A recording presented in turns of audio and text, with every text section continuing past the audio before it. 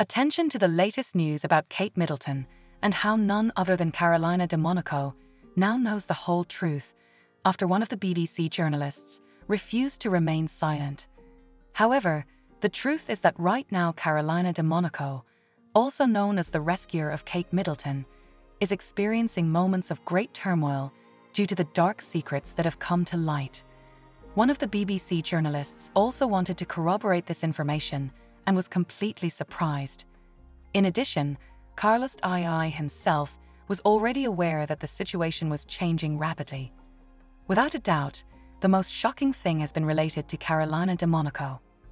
She has guaranteed that she now fears for her life since she has revealed the whole truth.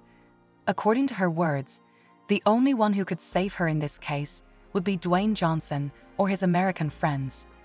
For this reason, they have tried to communicate directly with Prince Harry to find a solution.